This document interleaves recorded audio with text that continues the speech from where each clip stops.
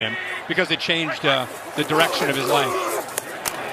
Mixon again to the 33 yard line. So Joe Mixon.